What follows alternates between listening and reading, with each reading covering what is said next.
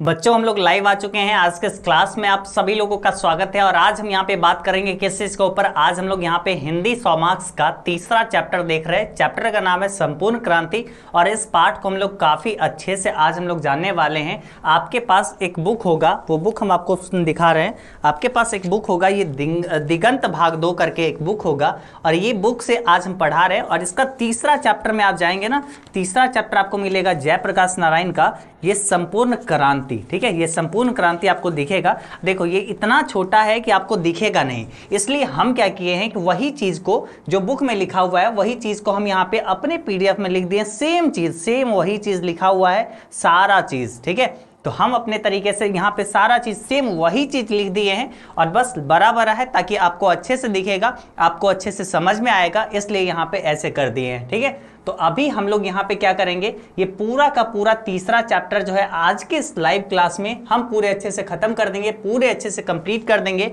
सबसे पहले हम लोग लेखक परिचय के बारे में जानेंगे, यानी जयप्रकाश नारायण जी जो है ना, जयप्रकाश नारायण जी के बारे में बहुत अच्छे से समझेंगे। उनके, उनका जन्म कब हुआ था, निधन कब हुआ था, साथ ही साथ बेसिकली वो क्या क्या रचनाएँ लिखी, सम्मान उनको क्या क्या मिला, है ना, पुरस्कार क्या मिला। साथ ही साथ पूरे चैप्टर का संपूर्ण हिंदी अर्थ जो होता है, वो भी अभी हम आपको बताएँगे। तो बहुत ही मज़ेदार क्लास है। आज के इस क्लास को आप देख लेंगे, ये चैप्टर से कोई भी एक ऑब्जेक्टिव, सब्जेक्टिव क्वेश्चन आपसे नहीं बच पाएगा, ये तो गारंटी है। और साथ ही साथ पूरा हिंदी अर्थ आपको अच्छे से आपके दिमाग में हम बैठा देंगे और इस तरीके से आपको समझाएँगे, जहाँ पे टफ चीज़ होगा, वहाँ पे और आसान आपके लिए कर देंगे, ताकि आप और अच्छे से इसको समझ पाओ। ठीक है? तो शुरू किया जाए। जल्दी से एक बार बोलिए, सब लोग इसको शेयर कर लीजिए, फटाफट सारे लोग शेयर कर लीजिए ज़्यादा से ज़्यादा लोग रहेंगे और एकदम पूरा उत्साह उमंग के साथ हम लोग को अच्छे से पढ़ना है और इसको कंप्लीट करना है, ठीक है? मतलब ये थोड़ी सी लंबी क्लास होगी ऑब्वियसली ये थोड़ी सी लंबी क्लास होगी, है ना? लेकिन ये कितना आपके लिए ज़रूरी है ये क्लास ये आप खुद ये समझते हो। तो जल्दी से जल्दी सब लोग शेयर कर लीजिए और इस क्लास को लाइक वगैरह कर लीजिए। कर लिए सब लोग? एक बार जल्दी से बताइए देन हम लोग स्टार्ट करते हैं। जल्दी से एक बार बताइए और फिर हम लोग स्टार्ट कर लेंगे। शुरू किया जाए। बोलिए। चलो स्टार्ट करते हैं। आई थिंक हम लोग को स्टार्ट कर देना चाहिए। आप लोग ईमानदारी से शेयर वगैरह कर लिए होंगे। अब हम लोग को यहाँ पे देखना है। क्या चीज़? हम लोग को अब देखना है ये संपूर्ण क्रांति पूरा पाठ को। ओके चलो वेट जस्ट ए सेकेंड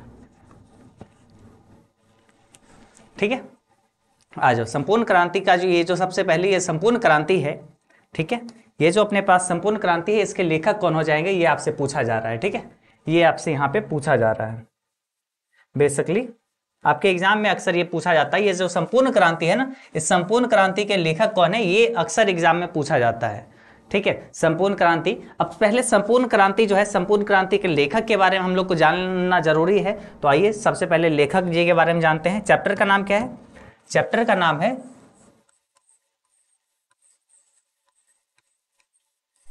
संपूर्ण क्रांति, ठीक है? संपूर्ण क्रांति। जस्ट ए सेकेंड बाबू लोग एक सेकेंड, हम दोबारा से इसको स्टार्ट कर देते हैं ताकि ये कोई दिक्कत नहीं हो, ठीक है? चलो, अब सब कुछ सही है, अब हम लोग आगे बढ़ते हैं, ठीक है? संपूर्ण क्रांति के लेखक कौन हो जाएँगे? संपूर्ण क्रांति के लेखक कौन हो जाएँगे? इसके लेखक हो जाएँगे कौन? जय प्रकाश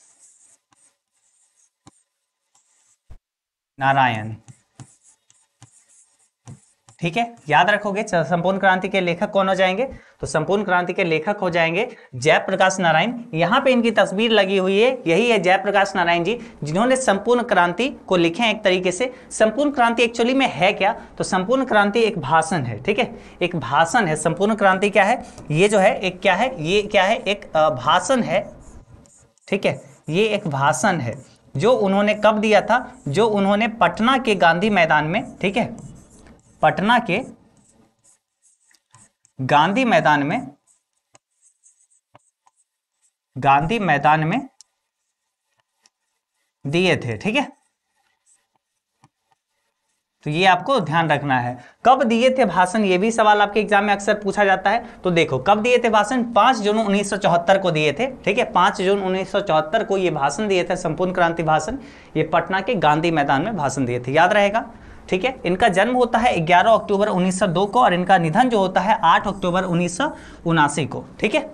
तो इनका ये जन्म और निधन, इनका भाषण, ये कब भाषण दिए थे? लेखक कौन है? जयप्रकाश नारायण जी, संपूर्ण क्रांति के तो ये आपको ध्यान में रखनी है। अब कुछ कुछ और जानकारी है इनके बारे में। लेखक पर्चे हम देख रहे हैं तो फुल डेप्थ में पूरे अच्छे से देखते हैं कि आपके एग्ज़ाम में अगर कहीं से कुछ भी क्वेश्चन इनसे संबंधित आए ना तो आप एक एक क्वेश्चन अच्छे से आप बना सको, ठीक है? एक एक क्वेश्चन अच्छे से बना सको, ठीक है? तो देखो, इनका जन्म होता है कहाँ पे? जयप्रकाश नारायण जी का सिताब दियारा गाँव में। माता इनका है फूल रानी माता का नाम इनका फूल रानी देवी है, ठीक है? पिता इनका, पिता का नाम है हर्षु दयाल जो कि अक्सर बोर्ड परीक्षा में सवाल रहती है। ठीक है? पत्नी का नाम क्या है? जयप्रकाश नारायण जी का। तो पत्नी का नाम है प्रभावती देवी, जो कि प्रसिद्ध गांधीवादी ब्रज किशोर प्रसाद की पुत्री थी। ठीक है? इनकी जो पत्नी थे, वो जो प्रसिद्ध गांधीवादी हैं ब्रज किशोर प्रसाद जी की पुत्री थी वो। ठीक है? प्रभावती देवी जी। ठीक? अब ये शिक्षा कहाँ से प्राप्त किए? ये भी सवाल बनती है कि भाई ये शिक्षा कहाँ से प्राप्त किए? तो देखो, इनको जो शिक्षा मिली थी, ये कहाँ कहाँ से मिली थी शिक्षा? तो वो देखिए, आरंभिक घर पर किए थे, आरंभिक जो शुरुआती शिक्षा जो होती है, ये घर पे किए थे और आगे की शिक्षा के लिए पटना कॉलेजिएट गए थे। आगे की शिक्षा के लिए ये पटना कॉलेजिएट गए थे और फिर उन्नीस सौ बाईस में शिक्षा प्राप्त के लिए अमेरिका गए थे। कब ये गए थे? अमेरिका तो उन्नीस में ये गए थे, शिक्षा प्राप्त करने के लिए अमेरिका गए थे। तो अमेरिका ये कब गए थे? उन्नीस सौ बाईस में, याद रखना है। माँ माँ के अस्वस्थता के कारण पीएचडी नहीं कर पाए। मतलब माँ बहुत ज़्यादा बीमार रहती थी, इसके कारण ये पीएचडी नहीं कर पाए। इनके पढ़ाई में इसका प्रभाव पड़ा, ठीक है? अब देखो, इनके शिक्षा के बारे में तो जान के अब कुछ इनके राजनीतिक जीवन के बारे में जानते हैं, ठीक है? लेखक परिचय से ये है, आपके पास अगर कॉपी है ऑब्वियसली होगा ही, है ना? स्टूडेंट हो, विद्यार्थी हो, पढ़ रहे हो, लगातार ये तो इसके लिए आपके पास कॉपी तो होगा ही। तो आप इन सारी चीज़ों को चाहोगे तो अपने कॉपी में नोट कर सकते हैं लेखक परिचय को, ताकि इसको बार बार क्योंकि इसमें बहुत सारा डेट वगैरह है और ये इतिहास की तरह आपको याद करना पड़ जाएगा। तो इसलिए आप डेट वगैरह नोट डाउन कर सकते हैं अच्छा रहेगा आपके लिए, ठीक है? आगे बढ़े। ठीक है, आगे बढ़ते हैं। आप लोग का बहुत सारा ये था कि भैया इसको भी थोड़ा सा लाइव में पढ़ा के देखिए ना, पूरा कंप्लीट जो संपूर्ण जो हिंदी अर्थ होता है, वो भी। तो लीजिए ना, हम जो आपका दिक्कत, जो आपका डाउट जो भी आप चाहते हैं, जो आपकी इच्छा करते हैं, वो चीज़ हम आपको अच्छे से पूरा कर देते हैं। तो आज फाइनली ये भी हम लाइव में आज गए हैं, ताकि आप लोग का जो भी सवाल, समस्या हो, वो भी हम सॉल्व कर सकें। ठीक है? चलो तो आई थिंक सब कुछ अच्छा है, सब कुछ सही से चल रहा है। और बस देखते चलो। हाँ जी। इनको लोकनायक के नाम से भी जानते हैं लोकनायक जयप्रकाश नारायण है ना? लोकनायक के नाम से। अब देखो उन्नीस सौ उनतीस में सबसे पहले ये कांग्रेस में शामिल हुए। 2022 में सॉरी 1922 में उन, 2022 ने 1922 में ये गए थे कहाँ पे? अमेरिका में। उन्नीस में ये कांग्रेस में शामिल हुए, जब ये अमेरिका से लौटे थे तो ये उन्नीस में कांग्रेस में शामिल हो गए थे और फिर 1932 में ये सविनय अवज्ञा आंदोलन के दौरान जेल गए थे। जेल से निकलकर कांग्रेस सोशलिस्ट पार्टी का गठन किए थे। कौन से पार्टी का गठन? तो कांग्रेस सोशलिस्ट पार्टी का गठन कौन किए थे? तो जयप्रकाश नारायण, याद रखना है। उसके बाद देखो, इनकी राजनीतिक जीवन में और क्या क्या होती है तो वो कुछ कुछ और यहाँ पे डिटेल्स दिया गया जो कि देखना है। और वो क्या है? वो है अपने पास उन्नीस और उन्नीस सौ तैंतालीस में वो पुनः जेल गए। देख रहे हैं मतलब क्रांतिकारी जो लोग होते हैं, जो कि मतलब सरकार के खिलाफ आवाज़ उठाते हैं, वो अक्सर जेल जाते हैं और यहाँ पे वही हुआ है। पंद्रह सौ सॉरी यहाँ पे उन्नीस सौ बावन में प्रजा सोशलिस्ट पार्टी का फिर से ये गठन किए। कौन सा पार्टी का? प्रजा सोशलिस्ट पार्टी का गठन। उन्नीस सौ चौवन में ये विनोबा भावे के सर्वोदय आंदोलन से जुड़े, ठीक है? उन्नीस सौ चौहत्तर में छात्र आंदोलन का नेतृत्व किया, आपातकाल के दौरान जेल गए, फिर से एक बार जेल गए। देखो, यहाँ पे उन्नीस उन्नीस में जेल गए, फिर से उसके बाद आपातकाल के दौरान जेल गए।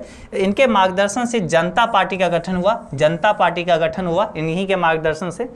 ठीक है? तो राजनीतिक जीवन इनका कुछ यूँ रहा था। तो ये सारा चीज़ ऐसा चीज़ है जिसको आप एक एक करके वीडियो को रोक रोक के आप आराम से नोट डाउन करोगे तभी आप इस ये चीज़ याद रख सकते हो ठीक है? बाकी समझने वाला चीज़ तो आज हम लोग समझेंगे ही ना संपूर्ण पूरा हिंदी अर्थ तो हम लोग समझेंगे अच्छे से।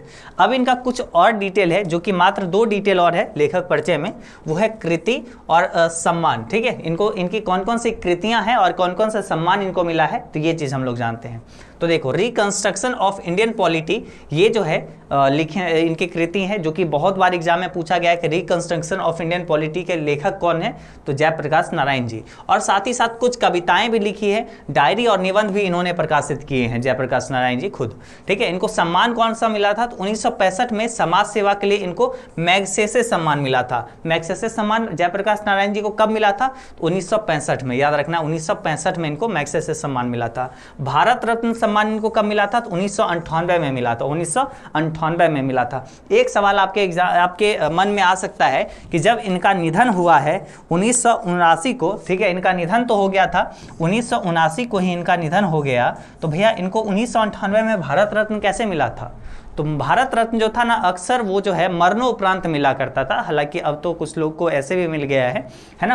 आ, लेकिन पहले क्या होता था आ, ये तो अब फ़िलहाल रूल चेंज हुआ है लेकिन पहले क्या होता था भारत रत्न ज़्यादातर मरणोपरांत मिलता था। तो यहाँ पे आ, ये जैसे उन्नीस सौ उनासी में इनका निधन हुआ था। ठीक है? तो और मरने उपरांत जब ये मर गए, उसके बाद उन्नीस में, जब इनका निधन हुआ, उन्नीस में फिर जाके इनको भारत रत्न मिला था, ठीक है? भारत रत्न से को नवाजा गया? ठीक है? पुरस्कार इनको मिला था।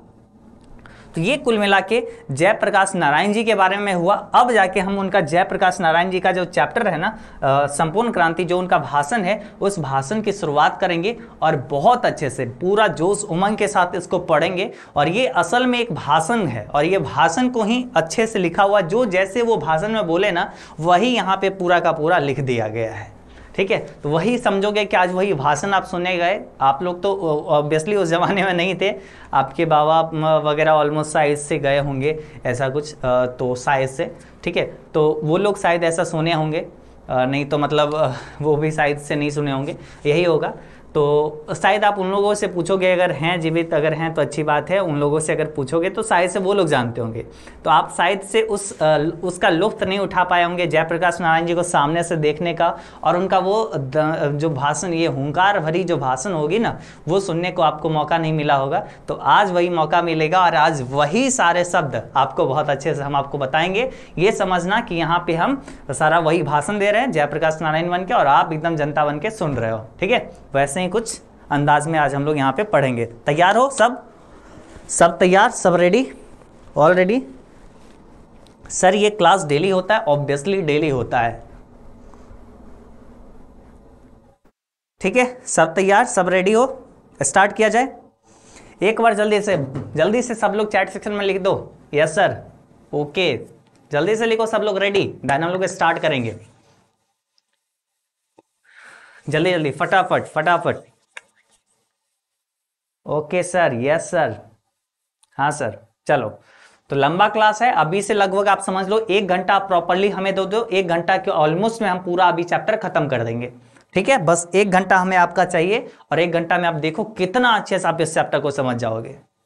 ठीक? तो बस एक घंटा आपके दिमाग में कोई इफ़ और कोई फ़ोन का नोटिफिकेशन किसी का कॉल ये सारा चीज़ नहीं आना चाहिए। एकदम प्रॉपर पढ़ाई पे फोकस कहीं उठ के नहीं जाना है प्रॉपरली बैठे रहिए और एकदम मस्त सुनते चलिए। ये भाषण है, सुनने का आनंद लीजिए और समझिए बस, ठीक है? और बस आंसर का चिंता मत करिए कि आपको आंसर किस प्रकार से लिखना है अपने बोर्ड परीक्षा में। अभी सिंपल सी बात है, इस भाषण का आप लुफ्त उठाइए और ये भाषण जब आपको समझ में आ जाएगी, आप हर चीज़ इस चैप्टर से संबंधित लिख सकते हो। अभी बस लुफ्त उठाइए, इसका मज़ा लीजिए, है ना? तो बस थोड़ा सा इंतज़ार का मज़ा लीजिए, बस वैसा ही चीज़ है, बस इस भाषण को सुनिए। ठीक? देखो। जयप्रकाश नारायण जी मंच पर आते हैं, ठीक है? जयप्रकाश नारायण जी मंच पर आते हैं और ऐसे बोलते हैं।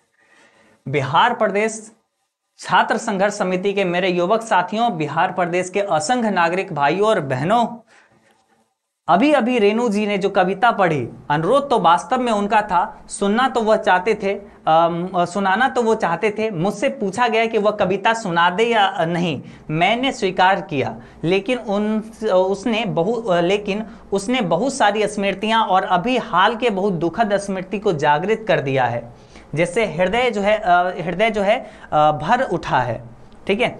अब यहाँ पे ये क्या था? देखो जैसे ये भाषण देने आए हैं तो सबसे पहले बोलते हैं कि बिहार प्रदेश छात्र संघर्ष छात्र संघर्ष समिति के मेरे युवक साथियों, बिहार प्रदेश के असंख्य नागरिक भाइयों और बहनों अभी अभी रेणु रेणु जी ने जो भाषण दिए, जो कविताएँ उन्होंने पढ़ी है, उनका उन्होंने हमसे पूछा कि क्या वो कविता सुना दे तो हमने स्वीकृति दे दी, लेकिन उसमें बहुत सारे ऐसे उसमें बहुत सारे ऐसे स्मृतियाँ और अभी के हाल के बहुत दुखद उसमें जो है ना, स्मृति जो जागृत हुआ है ना, उस कविताएँ में जो, कविता में जो उन्होंने दी थी, बहुत सारे ऐसे शब्द उन्होंने प्रयोग किए, जिससे आज दिल भर उठा है, बहुत सारे दुखद घटनाएँ याद आ रही है। तो ऐसा यहाँ पे ये बताते हैं, और आपको शायद मालूम ना होगा, आपको पता नहीं होगा कि जब मैं बेल्लोर अस्पताल के लिए रवाना हुआ था तो जाते समय मद्रास के दो दिन अपने मित्र श्री ईश्वर अय्यर के साथ रुका था। आपको नहीं पता होगा कि जब मैं बेल्लोर के लिए रवाना हुआ था, बेल्लोर जब जा रहा था ना, मैं तो उस समय मद्रास के दो दिन अपने मित्र श्री अय्यर के साथ रुका था। कहाँ पे? मद्रास के दो दिन अपने मित्र अय्यर ईश्वर अय्यर के साथ इन्होंने ये रुके थे। वह दिनकर जी गंगू बाबू वहाँ पर दिनकर जी, रामधारी सिंह दिनकर जी और गंगू बाबू मिलने आए थे। लेकिन गंगू बाबू तो साथ ही रहते थे और दिनकर जी बड़े प्रसन्न दिखे। वहाँ पर गंगू बाबू तो साथ रहते थे और साथ ही साथ दिनकर जी बहुत ही प्रसन्न दिखे थे।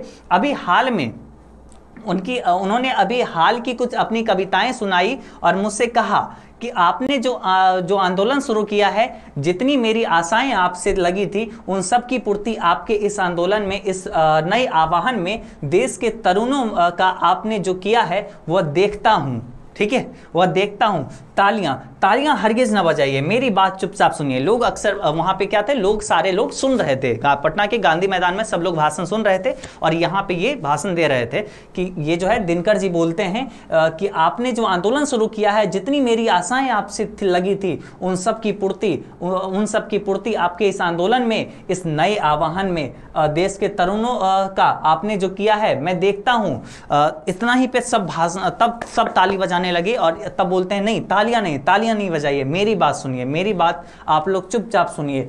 अब मेरी, अब मेरे मुँह से आप हुंकार नहीं सुनेंगे, लेकिन जो विचार मैं आपसे कहूँगा, वे विचार हुंकार से भरे होंगे, क्रांतिकारी वे विचार होंगे। अभी अभी जो मेरे मुख से, अब जो आप बात सुनेंगे ना, वो वो जो है ना, वो हुंकार नहीं होंगे, लेकिन जो कुछ विचार मैं आपसे कहूँगा, वे विचार हुंकारों से भरे होंगे, क्रांतिकारी वे विचार होंगे, जिन पर आपको अमल करना आसान नहीं होगा, ठीक है? अमल करने के लिए बलिदान करना होगा, कष्ट सहना होगा, गोली और लाठियों का सामना करना होगा, जेलों को भरना होगा, जमीनों की कुर्कियाँ होगी, यह सब होगा। यह क्रांति है मित्रों, यह क्रांति है। और संपूर्ण क्रांति है। यह कोई विधानसभा के विघटन का ही आंदोलन नहीं, यह विधानसभा का सिर्फ़ विघटन का आंदोलन नहीं है। यह, वह तो एक मंजिल है जो रास्ते में है, दूर जाना है, दूर जाना है। जवाहरलाल नेहरू के शब्दों में ना जाने कितने मिलो इस देश की जनता को जाना है। वह स्वराज्य को प्राप्त करने के लिए, जिसके लिए देश के हज़ारों लाखों जवानों ने कुर्बानियाँ दी है, जिसके लिए सरदार भगत सिंह, उनके साथी, बंगाल के सारे क्रांतिकारी साथी, महाराष्ट्र के साथी देश भर के क्रांतिकारी सभी गोलियों के निशाने बन गए। या तो फांसी पर लटकाए गए जिस स्वराज्य के लिए लाखों लाख देश की जनता बार बार जेलों को भरती रही है, लेकिन आज 27 28 वर्ष के बाद जो स्वराज्य है, उसमें जनता करा रही है। उसमें जनता आज जो जिस स्वराज के लिए, जिस आज़ादी के लिए जनता इतनी जगह जगह से अलग अलग क्रांतिकारी, बंगाल की क्रांति भगत सिंह के क्रांतिकारी उसके साथ महाराष्ट्र के क्रांतिकारी, ये देश भर के जितने भी क्रांतिकारी थे, सब गोलियाँ खाई, सीने पे गोलियाँ खाई, सब लोग जो लगातार जेल भरते रहे गोलियाँ खाती रहें, वो सब की कुर्बानियाँ वो सबका कुर्बानियाँ दे के आज जो ये स्वराज हासिल किया है, आज वही सत्ताईस अट्ठाईस साल बाद, सत्ताईस अट्ठाईस वर्ष बाद आज स्वराज जो है, उसमें जनता करा रही है। महँगाई है, भूख है, भ्रष्टाचार है, कोई काम नहीं, जनता का निकलता बिना बगैर रिश्वत दिए। सरकारी दफ्तरों में, बैंक में, हर जगह टिकट लेना, उसमें जहाँ भी हो, रिश्वत के बगैर काम नहीं जनता का होता। हर प्रकार के अन्याय के नीचे जनता दब रही है, शिक्षा संस्थाएँ भ्रष्ट हो रही है, हज़ारों नौजवानों के भविष्य अंधेरे में पड़ा है, जीवन उनका नष्ट हो रहा है, शिक्षा दी जाती है, गुलामी की शिक्षा, ऐसा यहाँ पे जयप्रकाश नारायण जी बोलते हैं। ठीक है, ऐसा जयप्रकाश नारायण जी बोलते हैं। तो बस लगातार सुनते रहिए, अभी आगे बढ़ते हैं। शिक्षा पाकर दर दर ठोकरे खाना नौकरी के लिए नौकरियाँ मिलती है, मिलती नहीं। दिन पर दिन बेरोजगारी बढ़ती जाती है, गरीबी की बेरोजगारी बढ़ती जाती है, गरीबी हटाओ के नारे लगते हैं। लेकिन मित्रों गरीबी बढ़ी है। पिछले वर्षों के अगर कंपेयर में बात किया गया, जाए तो गरीबी बढ़ी है। तो मित्रों, आज की स्थिति यह है और इस स्थिति में वहाँ दिनकर जी ने जो कुछ हम अपने शब्द सुनाए, बड़े हृदय ग्राही थे। उस समय दिनकर जी ने जो भी कुछ हमें बताए थे। मद्रास में जब हम रुके थे, ईश्वर अय्यर के यहाँ तो वहाँ पे जो कुछ दिनकर जी ने हमें सुनाए थे, वह सुनकर बड़ा हृदय ग्राही हो गया, मन भर आया था, है ना? और उसी रात जब विदा हुए मतलब उसी रात जब दिनकर जी विदा हुए थे, उसी रात को वो हमारे मित्र रामनाथ जी गोयनका यानी इंडियन एक्सप्रेस के जो मालिक थे के घर मेहमान थे मतलब हमारे एक मित्र थे कौन? इंडियन एक्सप्रेस के एक मालिक थे, जो इनका नाम क्या था? रामनाथ जी गोयन का, उन्हीं के घर पे दिनकर जी, रामधारी सिंह दिनकर जी, यानी राष्ट्र कवि जो थे, वो मेहमान थे उन्हीं के घर पे। और वो जो मेहमान थे ना, रात को उनको दिल का दौरा पड़ता है। दिनकर जी को उन्हीं के घर पे रात को दिन का दौरा पड़ता है। तीन मिनट में उनको अस्पताल पहुँचाया गया गोयनका जी को। तीन मिनट में बिलिंगटन नर्सिंग होम शायद उसे कहते हैं, जहाँ पे उन्हें भर्ती किया गया। सारा इंतज़ाम था वहाँ पर। पटना का अस्पताल तो पता नहीं, तीन घंटे में भी तैयार नहीं हो पाता। सभी डॉक्टर सब तरह के औज़ार लेकर तैयार थे। लेकिन दिनकर जी को हार्ट अटैक से ज़िंदा फिर से ज़िंदा हार्ट को फिर से ज़िंदा नहीं कर पाया। उसी रात उनका निधन हो गया। ऐसी चोट लगी उनकी यह कविता सुन के उनका वह सुंदर सौम्य जोशीला चेहरा याद आ गया। आज लगता है हमारे दो मित्र की कितनी कमी है। आज भाई बेनीपुरी जी होते तो उनकी लेखनी में जो ताकत थी, उनकी जो लेखनी बेनीपुरी जी, राम ब्रिज बेनीपुरी जी अगर होते, आज लगता है कि वो दो मित्र की बहुत ज़्यादा कमी है। पहला, दिनकर जी की, जिनका निधन हो गया उसके बाद राम ये राम ब्रिज बेनीपुरी जी उन वो भी आज नहीं है, नहीं तो उनकी लेखनी, वो जो लिखते हैं ना वो ताकत थी। जो ताकत थी उनकी लेखनी में, आज के जुलूस का, आज की सभा का जो वर्णन वह देते एक एक शब्द के लिए शब्द में अंगार होते, आग होता एक एक शब्द में। आज दिनकर जी की जो कविताएँ लिखते हैं, दिनकर जी जो जो कविताएँ लिखते हैं, नए भारत के नव निर्माण के लिए, जो देश के युवकों और छात्रों और देश के साधारण व्यक्तियों, नर और नारियों के द्वारा आज से जो हो रहा है शुरू, प्रारंभ हो रहा है, वह कविता शायद इस नवीन क्रांति का एक अमर साहित्य बन जाती। और लेकिन आज दोनों नहीं है, ना दिनकर जी, ना बेनीपुरी जी। ठीक है? तो इस प्रकार से यहाँ पे ये कहते हैं और आगे बढ़ते हैं। ठीक है? आगे बढ़ते हैं, बस सुनते रहिए मित्रों। आगे देखिए तो मित्रों, ये स्मृतियाँ जगी है। ये स्मृतियाँ जगी है और इसका भार हृदय पर है। ये ये मैं तो थक गया हूँ, लेकिन आज बड़ी भारी ज़िम्मेदारी मेरे कंधों पर आई है। मैं तो थक गया हूँ, लेकिन बड़ी भारी ज़िम्मेदारी आज मेरे कंधे पर आई है। और अपनी तरफ़ से मैं ये जो ज़िम्मेदारी है, मैं अपनी तरफ़ से मांग के नहीं लिया हूँ, मांग के नहीं लिया हूँ। तरुणों से, छात्रों से बराबर कहता रहा हूँ कि जब पहला जब पहला हमने आह्वान किया था यूथ फॉर डेमोक्रेसी का, लोकतंत्र में युवकों का क्या रोल है, यह हमने जो बताया था उसमें लिखा था और उसके बाद बराबर कहता रहा हूँ कि संचालन समिति में बहस करता रहा हूँ कि हम बूढ़े हो गए। जयप्रकाश नारायण जी कहते हैं कि अब हम बूढ़े हो गए हैं। हमारी सलाह ले लीजिए। हमारी हम दूसरे पीढ़ी के हो गए। और आ, आप नई पीढ़ी के युवक हैं। आप नई पीढ़ी के लोग हैं। देश के भविष्य हैं। देश के भविष्य आपके हाथों में है। उत्साह है आपके अंदर। शक्ति है आपके अंदर। जवानी है आपके अंदर। आप नेता बनिए। मैं आपको सलाह दूँगा। तो छात्रों ने कहा जयप्रकाश नारायण जी मार्गदर्शन शासन से काम नहीं चलेगा, आपको नेतृत्व स्वीकार करना पड़ा। मैं टालता रहा, मैं टालता रहा। लेकिन अंत में बेल्लौर जाते समय मैं उनके आग्रह को स्वीकार किया। ठीक है, यहाँ पे ये कहते हैं कि आज आज हम बूढ़े हो गए, लेकिन हमारे कंधों पे आज एक ज़िम्मेदारी है, और इस ज़िम्मेदारी को मैं मांग के नहीं लिया हूँ, बल्कि युवाओं ने, इस छात्रों ने, इस समितियों ने हमें ये ज़िम्मेदारी सौंपी है। मैंने हर हमेशा ये कहा है कि आप युवा, ये जो डेमोक्रेसी होनी चाहिए, युवा के हाथों में होनी चाहिए। आप बनिए इसका, आप इसका नेतृत्व करिए। मैं सलाह दूँगा क्योंकि आप युवा जो हैं, आप इस देश के भविष्य हैं, कल के नेता हैं, आपके हाथ में ये देश का बागडोर होना चाहिए। तो युवाओं ने कहा दिन ये युवाओं ने कहा कि जयप्रकाश जी सिर्फ़ मार्गदर्शन से काम नहीं चलेगा आपको नेतृत्व करना होगा। तो आ, मैं हर हमेशा ये बात टालता रहा नेतृत्व करने का बाद मैं खुद टालता रहा टालता रहा। लेकिन बेल्लोर जाते समय अंत में मैं हार के ये बात स्वीकार कर ही लिया कि ठीक है मैं ही नेतृत्व कर लूँगा है ना? तो लास्ट में जाके मैं ये स्वीकार किया तो ये ज़िम्मेदारी मैं मांग के नहीं लिया हूँ मुझे ये ज़िम्मेदारी सौंपा गया है। युवाओं के द्वारा समितियों के द्वारा लोगों के द्वारा ठीक है? आगे बढ़ते हैं। स्वीकार करते समय मैंने अनुभव किया। स्वीकार करते समय मैंने अनुभव किया अपनी अयोग्यता का और नम्रतापूर्वक वह स्वीकार किया। परंतु छात्र से भी, आप सबसे भी यह अनुरोध है कि नाम के लिए मुझे नेता नहीं बनना। आप सबसे अनुरोध है कि मैं सिर्फ़ नाम का नेता नहीं बनूँगा। सिर्फ़ नाम के लिए मुझे नेता नहीं बनाना है बनना है। मुझे सामने खड़ा करके कोई और हमें डिक्टेट कर, करे पीछे से कि क्या करना है जयप्रकाश नारायण तुम्हें तो इस नेतृत्व को मैं कल छोड़ देना चाहूँगा। अगर मैं सिर्फ़ नाम का नेता नहीं बनूँगा अगर कोई मैं सामने खड़ा रहूँ और कोई पीछे से मुझे डिक्टेट करे कोई ये बताए कि मुझे क्या करना चाहिए मतलब कोई और दूसरा मतलब दूसरे के बदौलत सरकार चले तो मैं उस उस पद को मैं उसी दिन अगले ही दिन कल ही मैं छोड़ना चाहूँगा। नेतृत्व करना छोड़ देना चाहूँगा। ठीक है? मैं सबकी सलाह लूँगा। तालियाँ नहीं बजाइए, तालियाँ नहीं बजाइए। मित्रों, बात सुनिए हमारी, बात समझिए। सबकी बात सुनूँगा, छात्रों की बात, जितना भी ज़्यादा होगा, जितना भी समय मेरे पास होगा उसमें बहस करूँगा, समय दूँगा और अधिक से अधिक उनकी बात मैं स्वीकार करूँगा, आपकी बात स्वीकार करूँगा, जनसंघर्ष समितियों की, लेकिन फैसला मेरा होगा। सबकी बात सुनूँगा, जनसंघर्ष समिति की, लोगों की, छात्रों की हर समिति की बात सुनूँगा, लेकिन अंतिम फैसला मेरा होगा। इस फैसले को, इसको मानना होगा, आप सबको मानना होगा। तब तो इस नेतृत्व का कोई मतलब हो है, तब यह क्रांति सफल हो सकती है, और नहीं तो आपस के झगड़ों में, बहसों में पता नहीं हम किधर खो जाएँगे और क्या नतीजा निकलेगा। देखिए, हम हर किसी का बात मानेंगे, हर लोगों की बात समझेंगे, आपके पास बैठ के, छात्रों के पास बैठ के समय बिताएँगे, उनके अंदर जो भी दिक्कत है, जो भी समस्या उनके पास है, वो चीज़ को सुनेंगे, समझेंगे और उसको लागू करने की कोशिश करेंगे, लेकिन अंतिम फैसला मेरा होगा, जिसको हर लोगों को मानना होगा, तभी जाके इस नेतृत्व का कोई फ़ायदा हो सकेगा मतलब निकल सकेगा, नहीं तो आपसी झगड़ों में हम लोग पता नहीं किधर बिखेर जाएँगे और नतीजों का क्या हाल होगा। तो ये यहाँ पे बताते हैं कौन? जयप्रकाश नारायण जी, ठीक है? बस पढ़ते चलिए, लगातार पढ़ते चलिए, और इसी प्रकार से आगे हम लोग बढ़ेंगे। देखो, आज के आज इस चैप्टर को पूरा संपूर्ण क्रांति हम लोग को खत्म कर लेना है।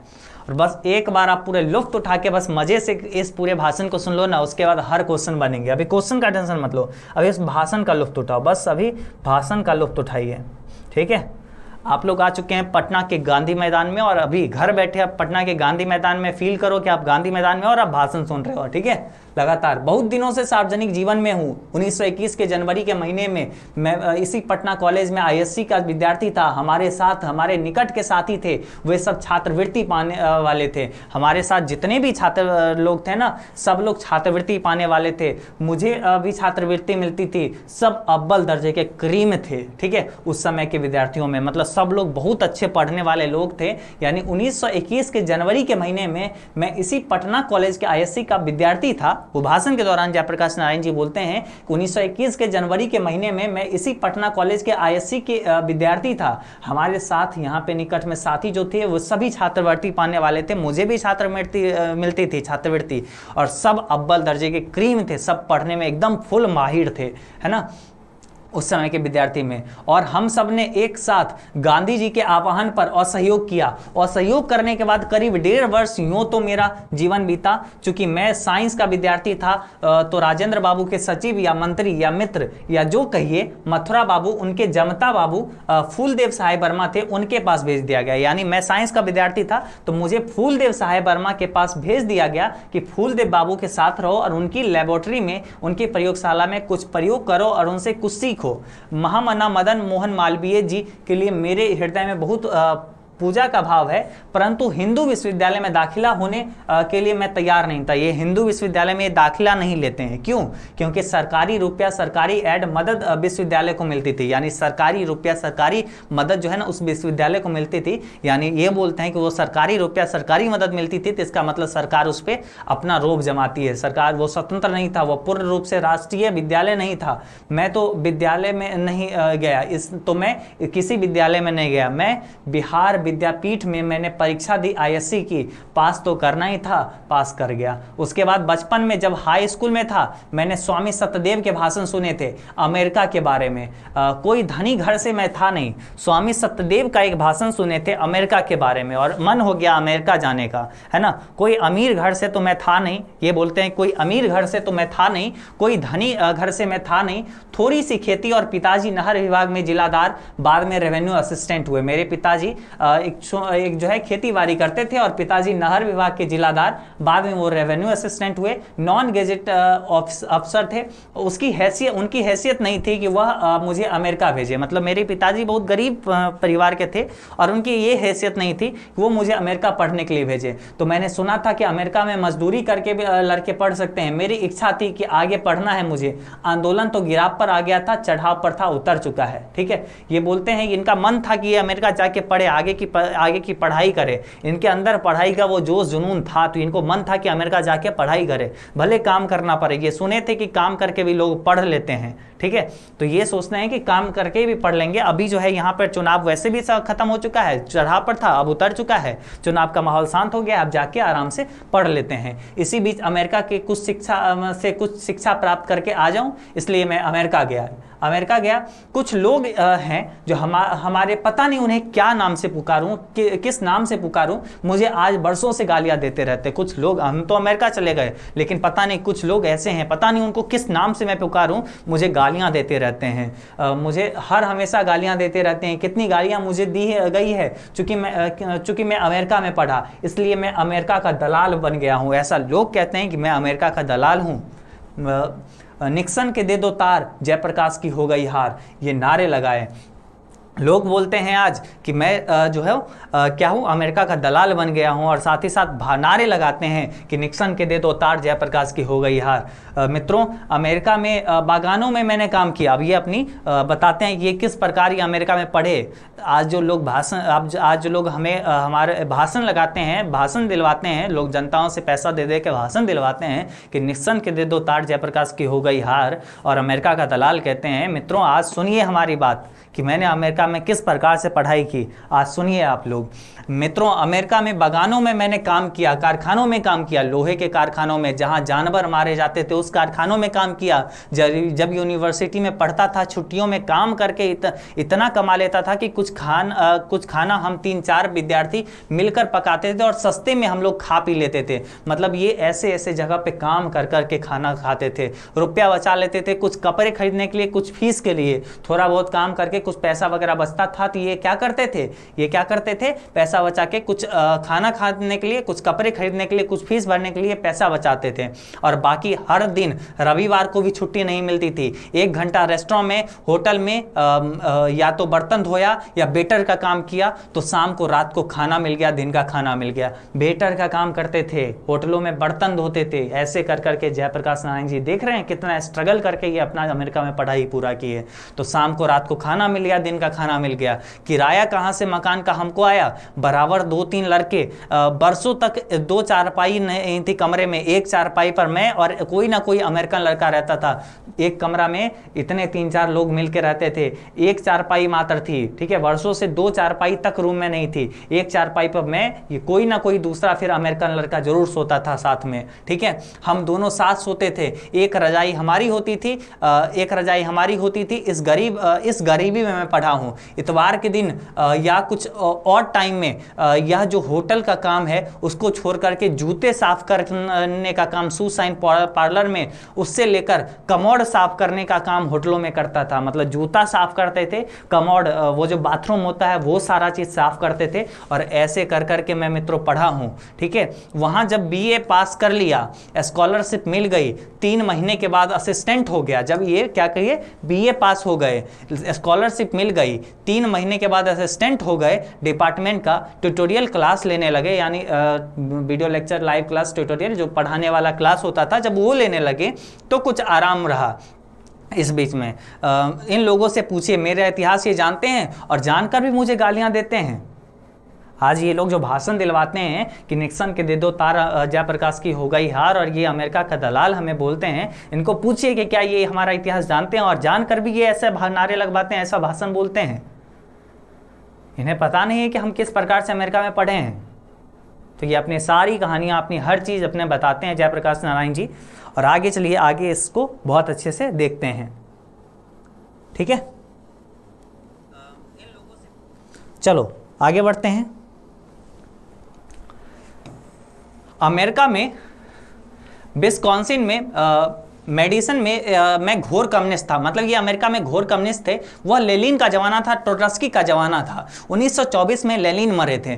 आपसे एग्ज़ाम में पूछा जाएगा लेलिन की मृत्यु कब हुई थी? 1924 में। 1924 में मैं मार्क्सवादी बना था। जब लेलिन की मृत्यु हुई थी 1924 में 1924 में मैं मार्क्सवादी बना था। और दावे के साथ कह सकता हूँ उस समय तक जो मैंने मार्क्सवादी के जो भी ग्रंथ छपे थे अंग्रेज़ी में हम लोगों ने पढ़ डाले थे। जितने भी दावे के साथ कह सकता हूँ उस समय जितने भी मार्क्सवादी के ग्रंथ छपे थे किताब वगैरह छपे थे हर किताब को हम लोग ने पढ़ डाला था। रातों रात को रोज एक रसियन टेलर था, दर्जी था, उसके हमारे उसके यहाँ हमारे क्लास लगते थे, उसके यहाँ जा जा के हम लोग डेली कुछ ना कुछ पढ़ ही लेते थे, एकदम मार्क्सवादी के जो भी ग्रंथ वगैरह थे, सब पढ़ लेते थे।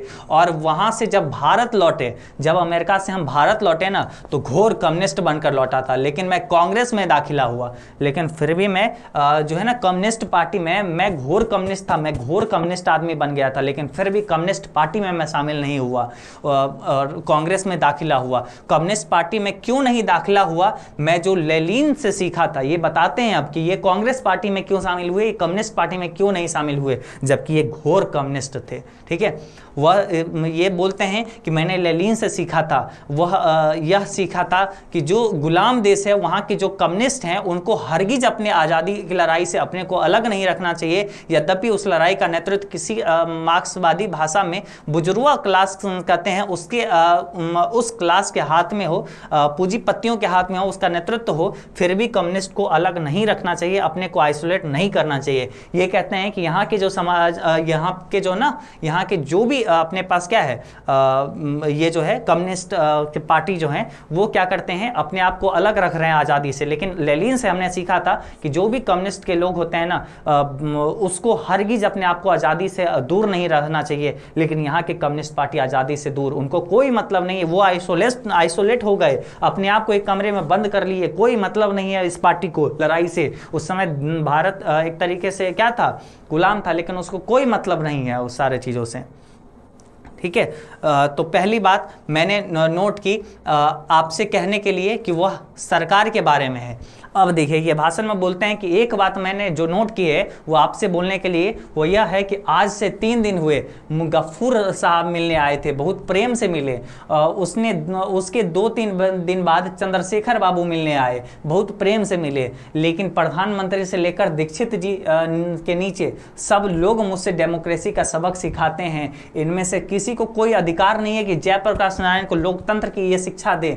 लेकिन वे जयप्रकाश नारायण को शिक्षा देने की हिम्मत कर करते हैं और इनकी हरकत देखिए शांति में प्रदर्शन शांति में जुलूस के लिए हज़ारों लोग लोग आ रहे हैं प्रदेश के कोने कोने से छात्र आ रहे हैं किसान आ रहे हैं मजदूर आ रहे हैं मध्य वर्ग के लोग आ रहे हैं कहीं पैदल आ रहे हैं कुछ बस से आ रहे हैं कहीं रेलों से आ रहे हैं कहीं ट्रकों से आ रहे हैं डीजल अपना खरीद के आ रहे हैं लेकर के आ रहे हैं जहाँ तहां उनको रोका जा रहा है लड़कों को पीटा जा रहा है गिरफ़्तार किया जा रहा है अनायस कोई आ, कोई जो है आ, कारण नहीं और यहाँ हमसे आकर सब मीठी मीठी बातें करते हैं देखो, ये बोलते हैं कि प्रधानमंत्री से लेकर गफूर साहब यहाँ पे, प्रधानमंत्री से लेकर यहाँ पे ये बोलते हैं कि देखिए प्रधानमंत्री से लेकर के दीक्षित जी से नीचे जितने भी लोग हैं ना उस सरकार में सब लोग हमसे आते हैं मिलने के लिए, चूँकि हम तो उसका विरोध में खड़े हैं।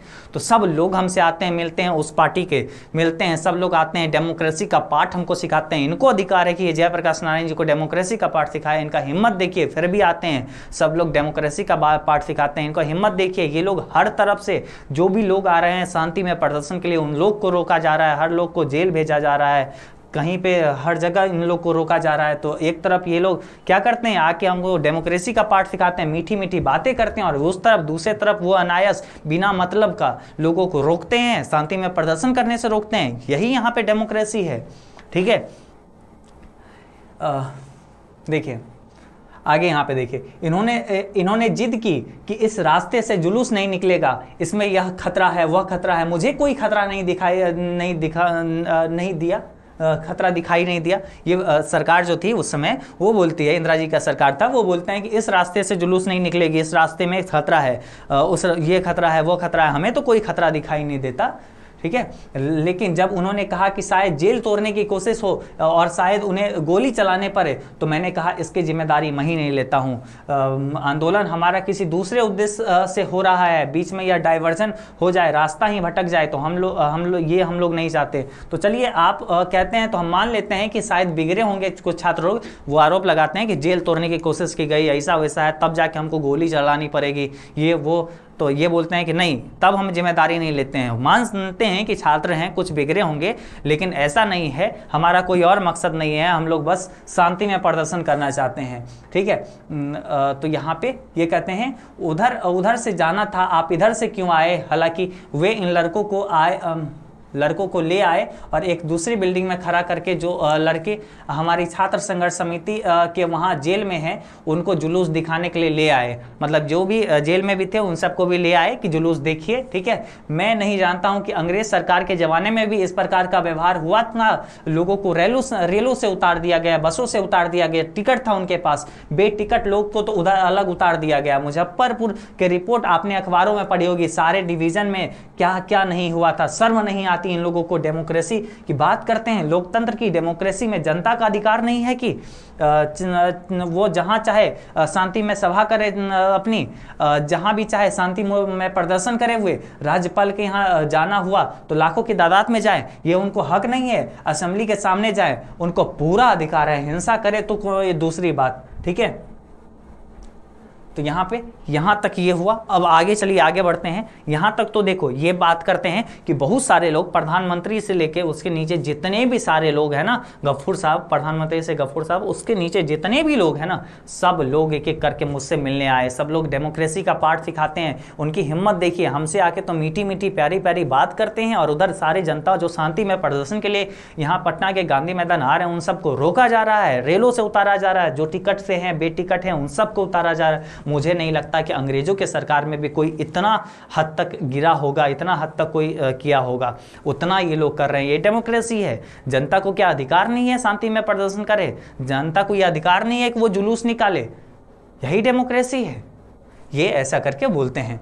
हमसे मिलने आए पुलिस के एक उच्च अधिकारी ने कहा, ठीक है? हमसे मिलने पुलिस के एक जो उच्च अधिकारी आए उन्होंने कहा नाम लेना ठीक नहीं होगा उनका, ठीक है? कि मैंने दीक्षित जी के मुँह से सुना कि जयप्रकाश नारायण नहीं होते तो बिहार जल रहा होता। एक एक बड़े पुलिस अधिकारी हमसे मिलने आए। देखिए, हम उसका नाम, उनका नाम नहीं लेंगे, चूँकि नाम लेना ठीक नहीं होगा। वो बोल रहे थे कि दीक्षित जी, उनको बोल रहे थे कि जयप्रकाश नारायण जी यानी हम नहीं होते तो ये बिहार जल रहा होता। ये पूरा बिहार जल गया होता। ये कहते हैं, जब जयप्रकाश के नारायण नारायण के बारे में आप ऐसा सोचते हैं तो जयप्रकाश नारायण के लिए सारा क्यों होता है? ठीक है, जब आप जयप्रकाश नारायण जी के बारे में सोचते हैं कि जयप्रकाश नारायण जी नहीं होते तो बिहार जल गया होता तो आप जयप्रकाश नारायण जी के बारे में इतना सारा चीज़ क्यों करते हैं? ठीक है, ऐसा क्यों होता है जयप्रकाश नारायण जी को?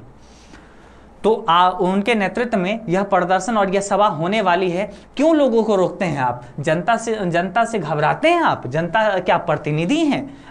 किसकी तरफ़ से शासन करने बैठे हैं आप? आ, आपकी हिम्मत है कि लोगों को पटना आने से रोके? आपकी राजधानी है उन, उनकी अपनी राजधानी है आपकी राजधानी है यह पुलिस वालों का देश है यह जनता का देश है। डूब जाना चाहिए इन लोगों को। ऐसी नीचता का व्यवहार करते बहुत कठोर शब्द का प्रयोग कर रहा हूँ। बहुत कठोर शब्द का प्रयोग कर रहा हूँ कठोर शब्द का प्रयोग नहीं करता, लेकिन यह नीचता का व्यवहार है मित्रों।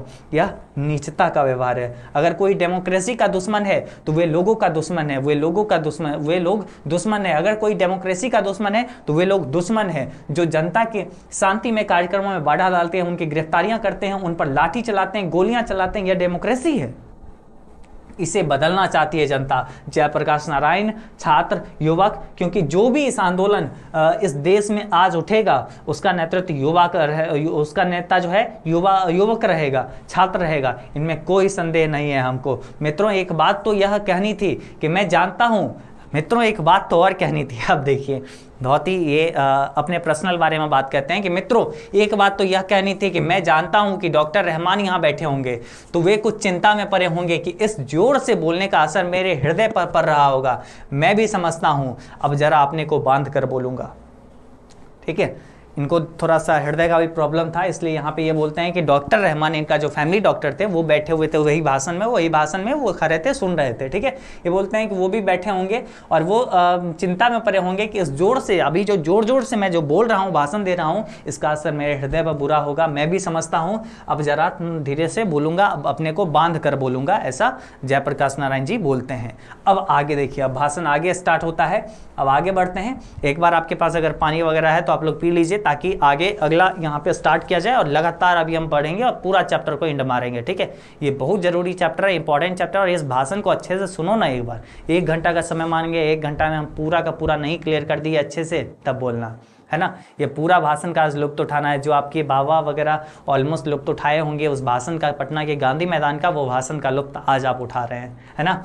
तो बस लगातार सुनना है। अभी आधा भाषण पे रोकते हैं और आधा भाषण फिर अभी करते हैं। बस एक मिनट का हम आपको गैप देते हैं। एक मिनट में अपना पानी वगैरह पी लीजिए, थोड़ा बहुत सैर वगैरह करना है, वो भी कर लीजिए। ठीक है, एक मिनट में फिर आगे बढ़ेंगे अभी हम लोग।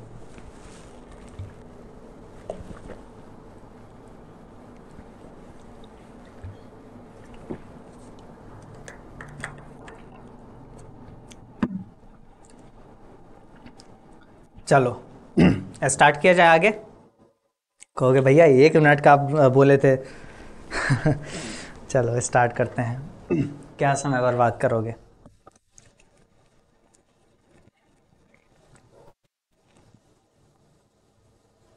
मज़ा आ रहा है सबको? एक बार जल्दी से कमेंट में लिखिए, मज़ा आ रहा है? इस भाषण को सुन के मज़ा आ रहा है सबको? अच्छा लग रहा है? जल्दी जल्दी सब लोग कमेंट करिए तो एक बार जल्दी से। तब तो हम लोग आगे बढ़ेंगे। मज़ा आ रहा है? और आगे भाषण सुनना है सबको? बहुत अच्छा लग रहा है, sir. Yes sir yes sir देखने वालों ने क्या क्या नहीं देखा होगा? मेरा दावा है क्या देते, सर? जैसा नहीं देखा होगा। सर, क्लास कितने बजे होती है? शाम सात बजे होती है। ओके, चलो। आगे बढ़ते हैं। नेट खत्म हो गया तो आसपास अपने भैया मम्मी सिस्टर जिससे भी लेना है ले लो लेकिन साथ अभी क्लास देखो। पूरा का पूरा अभी कंप्लीट करके ही जाना है सबको ठीक है? पूरा का पूरा अभी कंप्लीट करिए। अब देखिए आगे स्टार्ट होता है। यहाँ पे रामधारी सॉरी ये आ, जयप्रकाश नारायण जी जो भाषण दे रहे थे, अब आगे बोलते हैं, अभी हाल में मैं बेल्लोर में था। जयप्रकाश नारायण जी भाषण में, भाषण देते हैं, अभी हाल में मैं बेल्लोर में था। तो हमारे पास, हमारे परम मित्र और स्नेही उमा शंकर जी दीक्षित पटना आए थे। जब मैं बेल्लोर में था तो हमारे परम मित्र और स्नेही उमा शंकर जी दीक्षित पटना आए थे। उन्होंने मेरे संबंध में कुछ अच्छी बातें कही। साथ साथ कई प्रश्न उन्होंने उठाए। मेरा उनका बहुत पुराना संबंध है। बत्तीस तैतीस का आंदोलन जो चला था, उसमें वह अंडरग्राउंड बम्बई के बम्बई में ही वे रहते थे अंडरग्राउंड नेता थे। और सदानंद जी जो फ्री प्रेस के मालिक थे उनकी स्थापना की थी उन्होंने उनको ब्रेन ऑफ़ बॉम्बे कहा था। यानी एक सवाल आपके बोर्ड परीक्षा में अक्सर पूछी जाती है वो क्या है? यहाँ पे इंपॉर्टेंट पॉइंट है देख लीजिए। ये जो है ये। उमा शंकर जी दीक्षित ठीक है? उमा शंकर जी दीक्षित को क्या कहा जाता है? आ, इनको कहा जाता है स्थापना की थी, उनको ब्रेन ऑफ़ बॉम्बे कहा था। ठीक है, कौन कहे थे? ब्रेन ऑफ़ बॉम्बे कहे थे। कौन कहे थे? उमा शंकर जी दीक्षित को ब्रेन ऑफ़ बॉम्बे कहे थे। कौन कहे थे? सदानंद जी कहे थे। ठीक है, जो कि जो कि क्या थे? जो कि फ्री प्रेस के मालिक थे, ठीक है? ये कुछ पॉइंट है, आप याद रखिए भाषण के दौरान ये जो कुछ पॉइंट है, इससे ऑब्जेक्टिव क्वेश्चन आती है आपके परीक्षा में। उमा शंकर दीक्षित को ब्रेन ऑफ़ बॉम्बे कहा था कहा जाता है, और ये कौन कहे थे? किस, कौन नवाजे थे इनको? ये ब्रेन ऑफ़ बॉम्बे के नाम से तो सदानंद जी, जो कि फ्री प्रेस के मालिक थे, ठीक है? फ्री प्रेस के मालिक थे। चलो। आगे बोलते हैं, आगे बोलते हैं कि मुझे भी कोई बड़ी पदवी दी थी। मतलब ऐसे ही कोई बड़े उपाधि दिए थे, पर मैं अपनी प्रशंसा नहीं करूँगा। उस समय दीक्षित जी हमारे परिचय और हमारा दीक्षित जी से हमारा परिचय, हमारी घनिष्ठता, मित्रता हुई थी। और हमें और अंडरग्राउंड जमाने की मित्रता जो, मित्रता होती है, जो मित्रता होती है वह ठोस होती है। चाहे हम कहीं रहें, वो कहीं रहें, ठोस रहती है। उसके बाद हम एक दूसरे के मित्र आज तक बने हुए हैं। कुछ ऐसे मित्र अब देखिए यहाँ से मेन इंपॉर्टेंट है इससे भी सवाल बनती है सब्जेक्टिव टाइप क्वेश्चन भी इससे बनती है। अब फिर से भाषण का लुप्त उठाइए फिर मज़ा आएगा आप सबको। ठीक है? अब फिर मज़ा आएगा सबको। देखिए कुछ ऐसे मित्र हैं आ, हमारे कुछ ऐसे मित्र हैं जिनका भाव अच्छे हैं। हमारे पुराने मित्र हैं जो सोशलिस्ट पार्टी में थे जो नहीं चाहते थे आ, आ, सोशलिस्ट पार्टी में थे या जो नहीं भी थे, चाहते हैं कि जयप्रकाश नारायण और इंदिरा जी इंदिरा जी में कुछ मेल मिलाप हो जाए। जो बहुत सारे मेरे ऐसे मित्र हैं जो सोशलिस्ट पार्टी से हैं या फिर जो नहीं भी हैं, वो चाहते हैं कि मेरा और इंदिरा जी का, यानी जयप्रकाश नारायण जी का और इंदिरा जी का मेल मिलाप हो जाए। तो मित्रों, मेरे किसी व्यक्ति से झगड़ा नहीं है। तो उनको जवाब देते हुए जयप्रकाश नारायण जी बोलते हैं तो मित्रों, मेरा किसी व्यक्ति से झगड़ा नहीं है, किसी व्यक्ति से झगड़ा नहीं है, चाहे वो इंदिरा जी हो या कोई हो। हमें हमें तो नीतियों से झगड़ा है, सिद्धांतों से झगड़ा है, कार्यों से झगड़ा है, जो कार्य गलत होंगे, जो नीतियाँ गलत होगी, जो सिद्धांत प्रिंसिपल गलत होंगे, जो पॉलिसी गलत होगी, चाहे वो कोई भी करे, मैं विरोध करूँगा अपनी अकल के मुताबिक। हम लोग के, हम लोग इनकी तरह नौजवान थे, उस ज़माने मेरी ज़रूरत हुआ करते थे। लेकिन यह ज़रूरत होती थी कि हम लोग हम लोगों की कि बापू के सामने हम कह देते थे कि हम नहीं मानते बापू यह बात। ये ये बोलते हैं कि देखिए, हमारे बहुत सारे ऐसे मित्र हैं जो सोशलिस्ट पार्टी के हैं, जो नहीं भी हैं, वो चाहते हैं, कहीं ना कहीं वो चाहते हैं कि मेरा और इंदिरा गांधी जी का कुछ हो जाए मेल मिलाप हो जाए। तो मैं कहना चाहता हूँ कि मित्रों मेरा जो है ना, किसी व्यक्ति से झगड़ा नहीं है। वो चाहे वो कोई भी हो, चाहे वो इंदिरा जी ही क्यों ना हो, उनसे झगड़ा नहीं है। उनकी गलत नीतियों से झगड़ा है, उनके गलत सिद्धांतों से उनसे गलत प्रिंसिपलों से झगड़ा है। जो नीति गलत होगी, जो कार्य गलत होगा, जो प्रिंसिपल गलत होगा, मैं विरोध करूँगा, चाहे वो कोई भी हो, ठीक है? चाहे वो कोई भी हो, मैं विरोध करूँगा। और आगे ये क्या कहते हैं? और आगे ये क्या कहते हैं? देखिए, ठीक है? जो नहीं भी और आगे क्या कहते हैं सुनिए। हम लोग जब जवान थे नौजवान थे तो हम लोग के अंदर इतनी ज़रूरत हुआ करता था कि मैं बापू के सामने हम कहते थे यानी महात्मा गांधी जी को भी हम कहते थे कि बापू हम नहीं मानते आपकी बात। आ, हम आ, नहीं मानते आपकी बात बापू यह बात। और बापू में इतनी महत्ता थी। हम लोग गांधी जी को भी बोल देते थे हम लोग जब जवान थे ना तो हम लोग गांधी जी को भी बोल देते थे कि बापू हम आपकी बात नहीं मानते ये बात। तो बापू में इतनी महत्ता थी बापू में इतनी महानता थी कि वो बुरा नहीं मानते थे। फिर भी बुलाकर हमें प्रेम से समझाना समझाना चाहते थे समझाते थे तो उन तो उन उनकी आलोचना की है मैंने। उस ज़माने में मैं, घोर मार्क्सवादी था। बाद में लोकतांत्रिक समाजवादी बन गया। किंतु बापू के मृत्यु के बाद कई वर्षों के बाद उन्नीस सौ चौवन में मैं सर्वोदय में आया आया गया बिहार में ठीक है? आया गया बिहार में ये फिर आए। बाद में उन्नीस सौ चौवन में मैं मार्क्स सर्वोदय में आया गया बिहार में। जवाहरलाल जी थे एक बड़े भाई थे ठीक है? जवाहरलाल जी थे ये ये इनके अंदर इतनी ज़रूरत थी कि महात्मा गांधी जी को बोल देते थे कि बापू हम आपकी बात नहीं मानते ये बात। और बापू में इतनी महत्ता थी महानता थी कि वो बुरा नहीं मानते थे वो समझाना चाहते थे समझाते थे। ठीक है? तो ऐसा बाबू बापू में महत्व थी। उसके बाद कहते हैं जवाहरलाल जी थे एक बड़े भाई थे। मैं उनको भाई कहता ही भाई ही कहता था। आ, उनका बड़ा स्नेह था हमारे ऊपर। पता नहीं क्यों मुझे वो बहुत मान मानते थे बहुत। मैं उनका बड़ा आदर और प्रेम करता था लेकिन उनकी कटु आलोचना करता था। उनमें भी बड़प्पन था। अक्सर तो उन्होंने हमारी आलोचनाओं का बुरा नहीं माना, लेकिन पटना फायरिंग पर जो मैंने बयान दिया था, मैं मानता हूँ कि बहुत सख्त भाषा का मैंने प्रयोग किया था, उस समय पर बहुत नाराज़ हुए, ठीक है? तो ये फिर जवाहर ये जो है जवाहरलाल नेहरू जी के बारे में बात करते हैं। कि जवाहरलाल नेहरू जी मेरे बड़े भाई एक तरीके से लगते थे, मैं उनको भाई ही कहता था। उनका बड़ा स्नेह था मेरे ऊपर। पता नहीं क्यों मतलब वो मुझे बहुत मानते थे मानते थे वो बहुत हमें, ठीक है? और ये बोलते थे कि मैं उनका भी आलोचना करता था, वो भी बुरा नहीं मानते थे। लेकिन एक बार जो मैंने उनकी आलोचना किया था, पटना फायरिंग में जो मैंने शब्दों का प्रयोग किया था, वो मानते थे, बहुत कटु शब्द था, इसलिए वो उसमें बहुत ज़्यादा नाराज़ हो गए थे। ठीक है?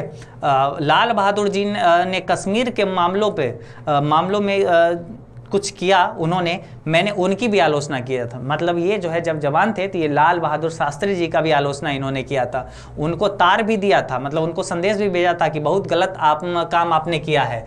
इससे कश्मीर के सवाल को हल करने में आपको दिक्कत होगी। थोड़े ही दिनों में अठारह महीने में वो चल बसे। देश का दुर्भाग्य है। ये कहते हैं कि लाल बहादुर जी को भी मतलब ये बोले थे कि आपने जो नीतियाँ जो बनाई है ना, इससे आपको दिक्कत होगी। जो कश्मीर के सवाल हल करने में आपको दिक्कत होगी, थोड़े ही दिन में 18 महीने में वो चल बसे। देश का दुर्भाग्य है। इंदिरा जी से जो मेरा मतभेद है ना, ये बोलते हैं। अब देखिए, इंदिरा जी और मतलब जवाहरलाल जी का कंपेयर ये करते हैं।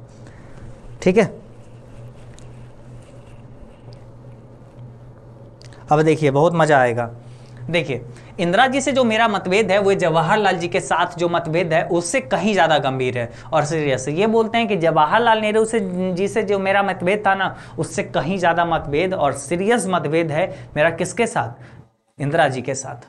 ठीक है? जवाहरलाल जी से परराष्ट्र नीतियों में के संबंध में स्वराष्ट्र के संबंध में अधिक उनसे आ, हमारा मतभेद नहीं था ठीक है? ये बोलते हैं कि जवाहरलाल जी से था ना वो मेरा परराष्ट्र नीतियों के संबंध में जो निर्णय था उनका जो प्रिंसिपल्स था उसके संबंध में मुझे मतभेद था। स्वराष्ट्र के संबंध में उनसे कोई मतभेद नहीं था वो राष्ट्र के अंदर बहुत अच्छा काम कर रहे थे ठीक है? दूसरे राष्ट्र के संबंध में उनसे हमारा मतभेद था। तिब्बत के मामले में मतभेद था चीन के मामले में मतभेद था हंगरी के मामले में मतभेद था और मैं कोई गर्व नहीं करता हूँ।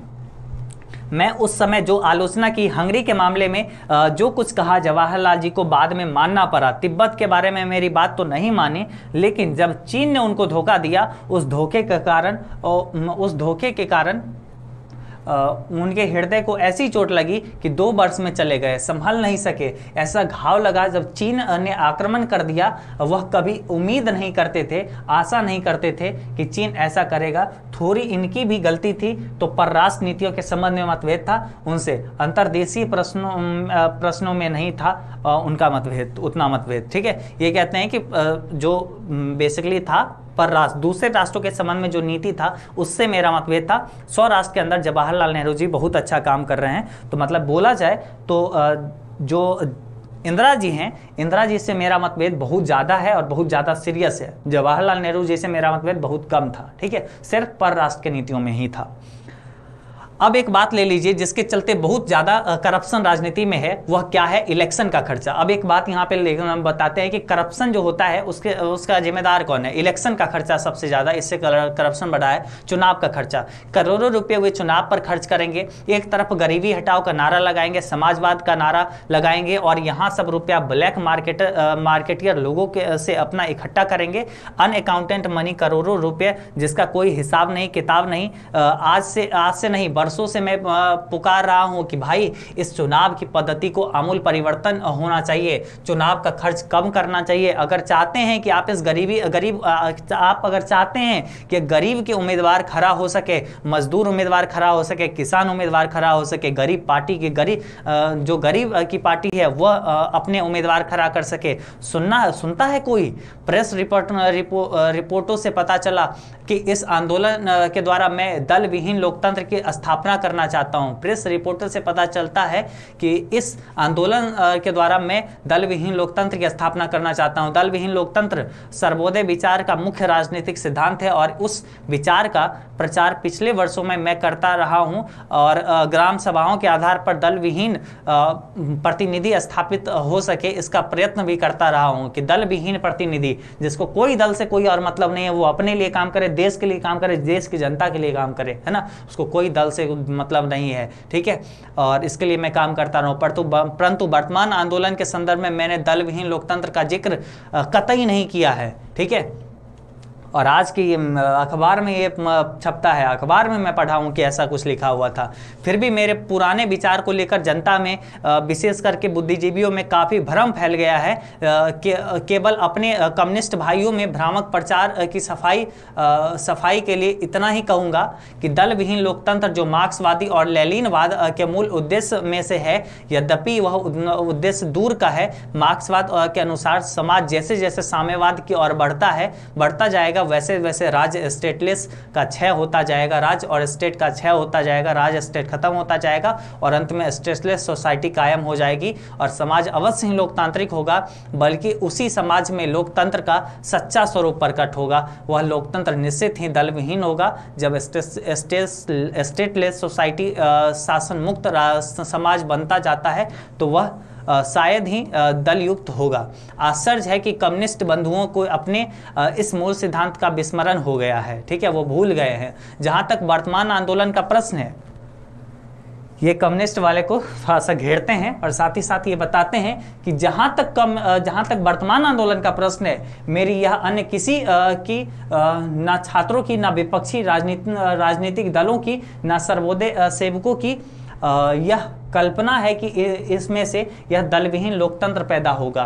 विधानसभा का विघटन हो जाएगा तो छह महीने वर्ष भर में फिर से चुनाव होगा, जो वर्तमान कानून या चुनाव प्रणाली के अनुसार होंगे। विधानसभा के विघटन से संभावना तो यही है कि वर्तमान कानून तथा नियम आदि के अंतर्गत ही पुनर्निर्वाचन हो। इसलिए प्रश्न उठता है, जैसे कि पिछले सप्ताह में कई बार उठा है। उठा भी है कि इस हालात में विधानसभा का विघटन से क्या लाभ होगा? मुझे खेद है कि इतना उसका उत्तर पिछले दिनों मैंने बार बार दिया है। वो लोग पूछते हैं कि विधानसभा का विघटन से क्या लाभ होगा? विधानसभा का विघटन जो आप चाहते हैं, इससे क्या लाभ होगा? लोग हमसे पूछते हैं, ठीक है? लोग हमसे पूछते हैं कि विधानसभा के विघटन से क्या लाभ होगा? देखो आ, आ, अभी आप रुके रहो हम आपको समझा देंगे। क्या मतलब था यहाँ का? ये मतलब हम आपको अच्छे से बता रहे हैं ठीक है? लोग हमसे पूछते हैं कि विधानसभा का विघटन का क्या लाभ होगा? मुझे खेद है मुझे दुख है कि उत्तर पिछले दिनों मैंने बार बार दिया है पर उनको समझने की कोशिश थोड़े ही लोगों ने की है। इसलिए बार बार मुझसे यह सवाल होता है कि जयप्रकाश नारायण वर्तमान चुनाव पद्धति और विधानसभा चुनाव को कौन सा विकल्प पेश कर रहे हैं? तो मेरा अपना विकल्प चूँकि नए ढंग का है तो घिसे पीटे राजनीतिक चिंतन से भिन्न है, इसलिए लोगों को समझ में नहीं आता। अगर मैं यह कह दें कि मेरे विकल्प यह है कि मैं इस आंदोलन और संघर्ष में से एक नई पार्टी का निर्माण करूँगा तो सब लोग मेरी बात आसानी से समझ लेंगे और इसके बाद मेरी आलोचना शुरू हो जाएगी कि यह आदमी केवल अपनी सत्ता और छात्रों और जनता के आंदोलन का दुरुपयोग कर रहा है। अगर मैं बोल दूँ ना कि एक नई पार्टी का गठन होगा तो सब लोग यह बात अच्छे से समझ जाएँगे और सब लोग उस समय क्या रहेगा? बाद में फिर जाके मतलब एक तरीके से क्या आलोचना भी शुरू कर देंगे कि ये आदमी सिर्फ़ छात्रों और आंदोलन का दुरुपयोग कर रहा है। और मैं अभी बोल रहा हूँ कि दल विहीन लोकतंत्र का स्थापना करना, लेकिन जब मैं कोई नई बात करता हूँ तो इसको समझने की कोशिश कम होती है या नहीं होती है। तो क्या तो क्या है मेरा कहना? संक्षेप में यह है कि आज, अब देखिए, ये क्या कहना चाहते हैं, अब ये संक्षेप में बताते हैं। ये संक्षेप में बताते हैं क्या है इनका कहना। ठीक है? आज की परिस्थिति में आ, में आम जनता को आम मतदाता को अब बहुत अच्छे से आपको समझ में आएगी। देखिए ये बताते हैं आज आज भी वैसा ही चल रहा है। अब आपको बहुत अच्छे से समझ में आएगा बस आप थोड़ा सा सब्र बनाए रखिए और समझिए इसको थोड़ा सा ठीक है? देखो अच्छे से भी समझाएँगे। आज की परिस्थिति में आम जनता को, आम मतदाता को केवल इतना ही अधिकार प्राप्त है कि वह चुनाव में अपना मतदान करे, परंतु मतदान प्रक्रिया ना तो स्वच्छ और स्वतंत्र होती है, ना उम्मीदवारों के चयन में मतदाताओं का हाथ होता है, ना ही चुनाव के बाद उनका प्रतिनिधि पर उनका कोई अंकुश ही रहता है। आज क्या है? बस चुनाव देना, जनता का मात्र इतना अधिकार है कि वो चुनाव दे, वोट दे, बस इतना ही अधिकार है। वोट देने का प्रक्रिया भी स्वच्छ नहीं है और स्वतंत्र नहीं है, उस पर भी बल वगैरह प्रयोग होता है, चुनाव वगैरह इधर उधर होता है है वोटिंग वगैरह, ठीक है, उसमें भी घपला होता है। और बस चुनाव देना ही एक जनता का मात्र अधिकार है। चुनाव दिया, वोट दिया, मात्र बात खत्म। जनता का अपने प्रतिनिधि पर कोई अंकुश ही नहीं रहता, उस पर कोई अधिकार ही नहीं रहता है। मैं इन दोनों इन दोनों कमियों को दूर करने के प्रयत्न कर रहा हूँ कि जनता का ना प्रतिनिधि पर हर हमेशा ये रहे, अंकुश रहे, जनता अपना सवाल कर सके, जनता का जो काम है वो प्रतिनिधि को करना होगा, ऐसा मैं ये चाहता हूँ। अपना देश पिछड़ा हुआ इसके बावजूद, इस, इसके कि हमारे लोकतंत्र के, हमने लोकतंत्र की स्थापना की है, विकसित देशों में, लोकतांत्रिक समाज में, जो प्रति प्रति प्रभावी शक्तियाँ, यानी परस्पर एक दूसरे को प्रभावित करने वाली शक्तियाँ होती है, जनमत का जो प्रबल प्रभाव प्रतिनिधि पर निरंतर पड़ता है जो स्वतंत्र और और साहसी प्रेस पत्र पत्रिकाओं के रोल होते हैं। शिक्षित समुदाय का जो वैचारिक और नैतिक असर होता है इस सारे इंफ्रास्ट्रक्चर का, यानी जनता का, शासन के शासन के बीच इन संरचना का यहाँ नितान्त अभाव है। बहुत सारे देश में जहाँ पे लोकतंत्र चलता है, वहाँ पे क्या होता है कि जो पढ़े लिखे लोग रहते हैं, जो प्रेस होते हैं, वो सब एक तरीके से सवाल करते हैं प्रतिनिधि से। लेकिन यहाँ पे ये इंफ्रास्ट्रक्चर अभी कमी है इस चीज़ में, है ना? ऐसी स्थिति में हमारा लोकतंत्र केवल नाम मात्र का रह गया है।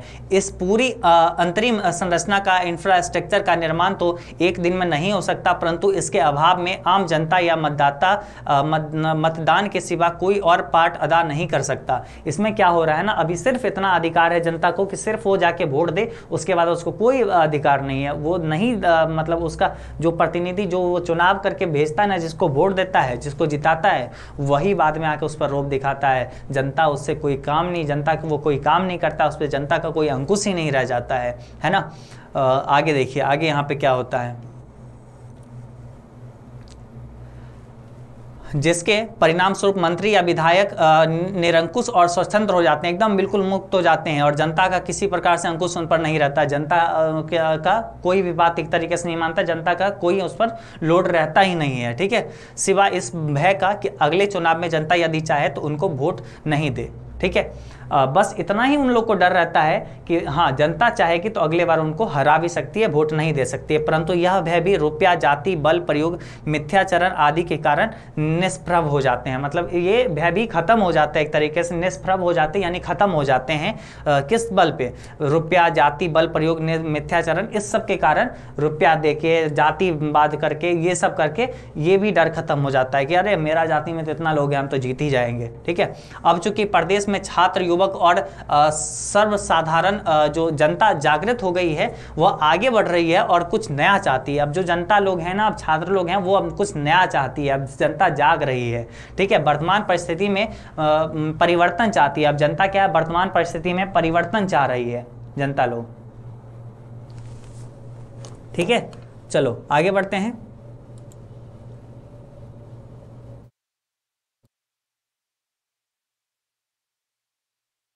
चलो आगे बढ़ते हैं। वर्तमान परिस्थिति में परिवर्तन चाहती है। अतः इस परिस्थिति का लाभ उठाकर मैं कहना चाहूँगी चा, चाहूँगा कि आज जो असंगठित जनता है इस परिस्थिति आज जनता लोग चाहती है कि इसमें परिवर्तन हो। आज जनता जागृत हो गई है छात्र जागृत हो गए हैं जाग गए हैं सब लोग। तो आज इस असंगठित जनता को मैं कहना चाहूँगा, इसका लाभ उठाकर मैं कहना चाहूँगा कि ऐसी शक्ति आ जाए कि वह सही आदमी का चुनाव कर सके, कि ये असंगठित जो अलग अलग जो जनता है ना, सब ऐसा चाहे कि सब एक साथ हो जाए, एकजुट हो जाए, और ऐसे लोगों को चुनाव में मतलब जिताए अपने प्रतिनिधि के आचरण पर यथासंभव अंकुश रख सके, जिस पर अपना क्या रख सके, अंकुश रह सके, उस, वो प्रतिनिधि उसका बात मान सके। इस संबंध में मेरे आ, कुछ सुझाव हैं इसके बारे में अपना कुछ सुझाव देते हैं। एक तो यह है कि जब विधानसभा अगला चुनाव हो तो हमारी छात्र संघर्ष या जन संघर्ष समितियाँ मिलकर के आम राय से अपना उम्मीदवार खराज करें।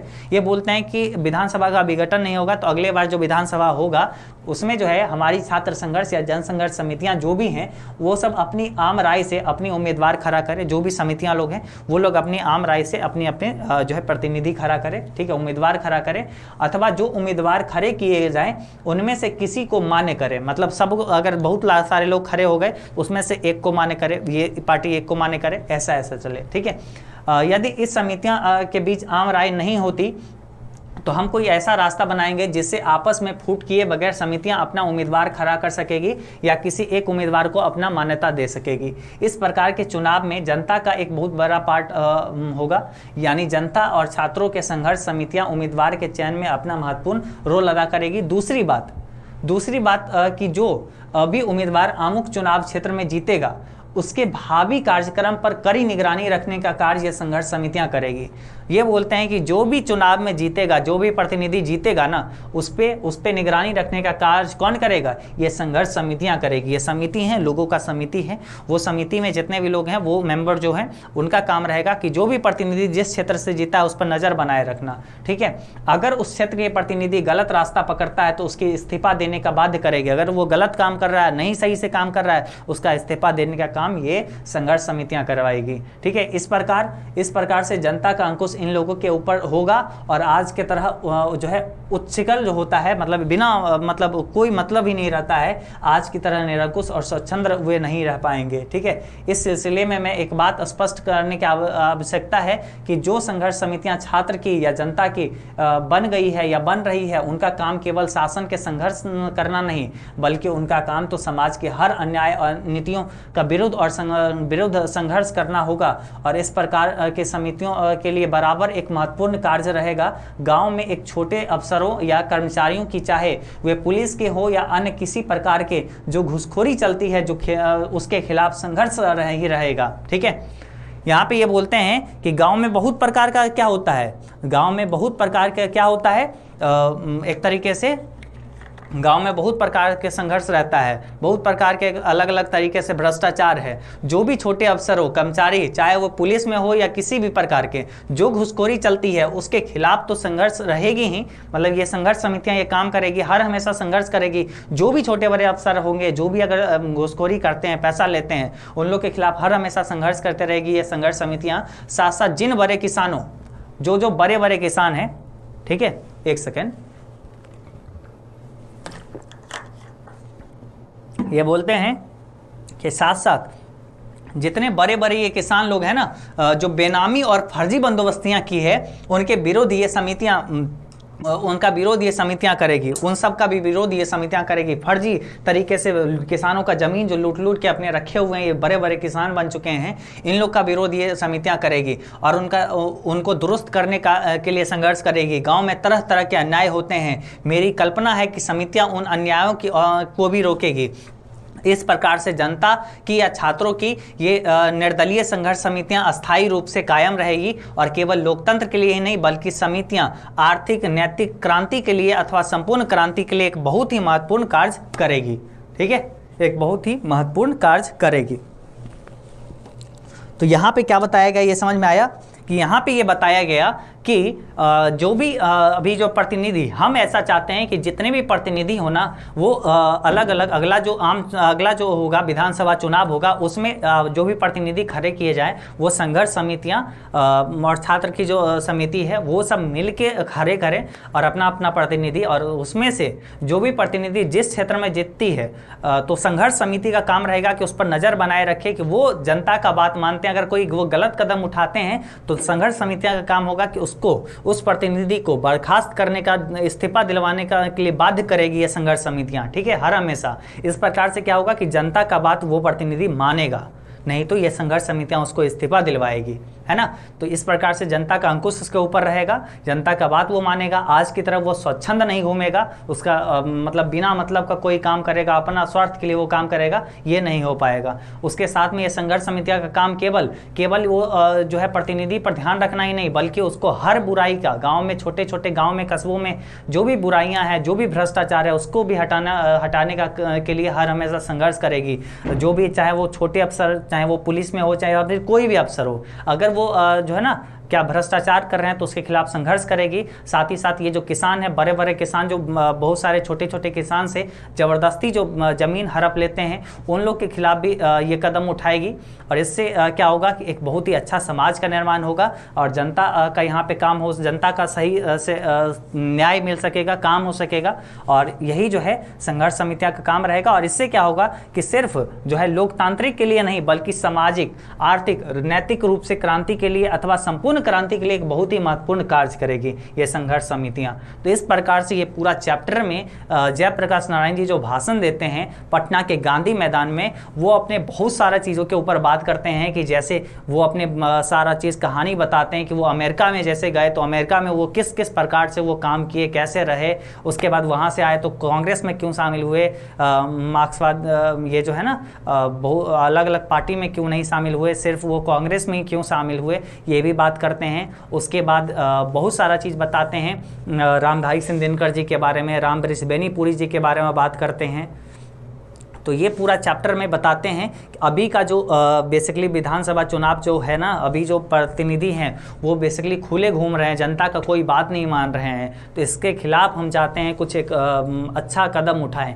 तो उस कदम के लिए अपना एक सुझाव भी प्रदर्शित करते हैं। संघर्ष समितियाँ के बारे में बताते हैं कि जो भी प्रतिनिधि जीतेगा, उस पर निगरानी रखने का काम ये संघर्ष समितियाँ करेगी। जो दल विहीन प्रतिनिधि होगा, ठीक है? कोई दल, कोई पार्टी से उसका कोई मतलब नहीं। दल विहीन जो प्रतिनिधि समिति होगा और ये संघर्ष समितियाँ हर हमेशा नज़र बना के रखेगी। जैसे ही वो खराब काम किया, तुरंत ये संघर्ष समितियाँ उसके बोलेगी, भाई, तुरंत अपना पद छोड़ो, इस्तीफा दो जल्दी से। इससे क्या होगा कि जनता का जो है अंकुश रहेगा हर हमेशा प्रतिनिधि पर, प्रतिनिधि पे अपना पकड़ बना रहेगा, प्रतिनिधि जनता के बारे में हर हमेशा सोचेगा। ठीक है? उसको भय बना रहेगा। तो ये अपना सारा चीज़ सुझाव देते हैं और यही अभी चाहिए लोगों को। तो ये बताते हैं, पूरा ये भाषण के दौरान यही सारा बातचीत होता है। आई होप सो कि आपका ये पूरा चैप्टर अच्छे से क्लियर होगा, हो गया होगा। कोई प्रकार की कहीं से दिक्कत नहीं होगा। कल हम लोग मिलेंगे शाम सात बजे और उसमें बात करेंगे इसके ऑब्जेक्टिव क्वेश्चन सब्जेक्टिव क्वेश्चन के बारे में। तो कल श्योर से आप आ जाइएगा चैनल से जुड़ जाइएगा। इसलिए चैनल को अभी सब्सक्राइब कर लीजिए। और हाँ चैप्टर वन बातचीत पार्ट को हम पूरा हिंदी अर्थ अच्छे से बता दिए हैं। आपको जाना है डिस्क्रिप्शन में हम आ, लिंक दे दिए हैं। ऐसे ही चैप्टर टू जो आपका उसने कहा था वो भी पूरा हिंदी अर्थ पढ़ा दिए हैं। तो उसने कहा था कि हिंदी अर्थ देखने के लिए आप नीचे डिस्क्रिप्शन लिंक है देखिए। उसमें पूरे अच्छे से एकदम मस्त मक्खन तरीके से बता दिए हैं। आप बस एक बार देखोगे, आपको सारा चीज़ समझ में आ जाएगा। तो आई होप सो कि आपका ये सारा चीज़ अच्छे से क्लियर होगा, कहीं से कोई डाउट नहीं होगा। बताइए एक बार, कैसा लगा आप सबको? और नीचे इस लाइव के बाद कमेंट करना, सारे लोग, हम आपका सब कमेंट एक एक करके बैठ के पढ़ेंगे, ठीक है? तो सब लोग कमेंट करिएगा कि ये क्लास पूरा कैसा लगा। कितना मज़ा आया करके, है ना? हम बहुत ज़रूर आप लोग का कमेंट पढ़ेंगे और साथ ही साथ सभी अपने और भी जो भी दोस्त वगैरह हैं, उन सबको भी इस चैनल से जोड़िए, है ना? ताकि ज़्यादा से ज़्यादा लोग रहे और अच्छे से अच्छे और क्लास हम ले सके, सारा क्लासेस पूरा आपको सिलेबस यहाँ से अच्छे से कंप्लीट करवा देंगे, ठीक है? तो बस आप चैनल से जुड़े रहिए सब्सक्राइब कर लीजिए और शिक्षा से जुड़े ऐसे चैनल्स को, अपने चीज़ों को ज़रूर इससे जुड़े रहिए, ठीक है? ताकि जब आप पढ़ाई करने का आपका मन नहीं होगा ना, तब भी साइड से होगा नोटिफिकेशन चला गया एक वीडियो का कि अच्छा एजुकेशन वाला पे हिंदी का क्लास लाइव हो रहा है। आपका मन हुआ, चलो ठीक है, ऐसे ही बैठे हुए हैं, चलो जाके देख लेते आप आ गए लाइव में और यहाँ पे आए तो पूरा एक चैप्टर खत्म कर लिए। तो कितना अच्छा रहता है। तो इसलिए सब्सक्राइब करके रखिए कि शायद आपका पढ़ने का मन नहीं हो, फिर भी एक नोटिफिकेशन गया आपका पढ़ने का मन बन गया। पढ़ लिए तो एक पूरा चैप्टर खत्म हो गया, मज़ा आ जाएगा। उसके बाद खुशी अलग होता है। जब एक चैप्टर पूरा कंप्लीट होता है ना, खुशी है, आपके अंदर बहुत खुशी होगा आई थिंक अभी। नाइस सर आदित्य भैया thank you for this class thank you sir आप कमेंट नहीं पढ़ते हैं? नहीं, कहाँ पढ़ रहे हैं? तब बिना कमेंट पढ़े थोड़ी आपका कमेंट हम देख पा रहे हैं।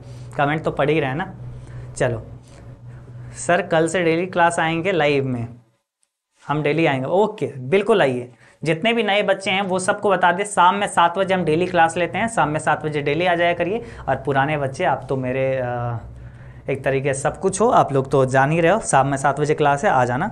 बहुत अच्छा लगा सर आपकी class. Okay sir thank you so much for beautiful session thank you super से भी ऊपर सर, बहुत अच्छा क्लास। चलो दैट्स ग्रेट बस आप लोग को समझ में आया? बस यही चाहिए था और इसी के लिए बस अभी लगातार मेहनत कर रहे थे और ऐसे ही बस आगे पढ़ते चलिए। जो भी चैप्टर आप अगर नहीं कंप्लीट किए हैं तो डिस्क्रिप्शन में लिंक है, आप जाके एक एक करके कंप्लीट करिए। आगे कल इसका ऑब्जेक्टिव सब्जेक्टिव देखेंगे, फिर अगला चैप्टर हम लोग अर्धनारीश्वर की तरफ़ चढ़ेंगे ठीक है? और इंग्लिश में भी पढ़ाई चल रहा है तो इंग्लिश का भी प्रॉपर हम पढ़ा रहे हैं तो इंग्लिश का भी क्लास लगातार करते चलिए। चैनल पे जाइए चैनल पे पूरा आपके, आपका बिहार बोर्ड के लिए चैनल है ना? और इतना अच्छा अच्छे तरीके से पढ़ाई हो रहा है तो बस पढ़ते चलिए ठीक है? चलो। और बाकी हाँ और अगर अपना तैयारी करना है फुल डेप्थ में जाके अपना और सारा आ, मतलब सब्जेक्ट को अगर अच्छे से प्रिपेयर करना है ऑल सब्जेक्ट मतलब ऑफलाइन क्लास आप नहीं करना चाहते हैं सारा का सारा ऑनलाइन घर बैठे कर सकते हैं वो भी ऑफलाइन से एक तरीके से बेस्ट टीचर के साथ में ठीक है? तो आप बस एजुकेशन बाबा ऐप इंस्टॉल करिए और वहाँ से आप अपना पूरा तैयारी कर सकते हैं। कोर्स के बारे में अगर जानकारी चाहिए कि कोर्स कितना फ़ी है और कोर्स में क्या क्या चीज़ है कौन कौन से टीचर पढ़ाएँगे तो आप इस नंबर पर कॉल कर लीजिएगा, ठीक है? ठीक है, इस पर आप कॉल कर लीजिएगा, आपको बता दिया जाएगा। कि कोर्स में क्या क्या है कौन कौन सा सब्जेक्ट रहेगा, सारा medium, Hindi, English science, commerce art सभी का कोर्स अवेलेबल है। और अलग अलग टीचर होंगे, हिंदी मीडियम के लिए, इंग्लिश मीडियम के लिए अलग अलग टीचर। और वैसे टीचर्स जिनका एक्सपीरियंस होगा, सात साल, दस साल, पंद्रह साल, ऐसे एक्सपीरियंस वाले टीचर मतलब ये नहीं कि दो साल से, एक साल से अभी पास किया और पढ़ाने लगे, ऐसा वाला टीचर नहीं। ऐसा टीचर होंगे, एक्सपीरियंस टीचर, जो कि बिहार बोर्ड में प्रॉपरली कॉपी चेक करने जाते हैं। वैसे टीचर होंगे जो लगातार अपना टॉपर्स देते आए हुए हैं। तो वैसे टीचर आपको पढ़ा रहे होंगे। तो आप एजुकेशन अब ऐप भी इंस्टॉल करके देख सकते हैं या फिर डायरेक्टली इस नंबर पर कॉल करके बात कर सकते हैं कोर्स के बारे में, ठीक है?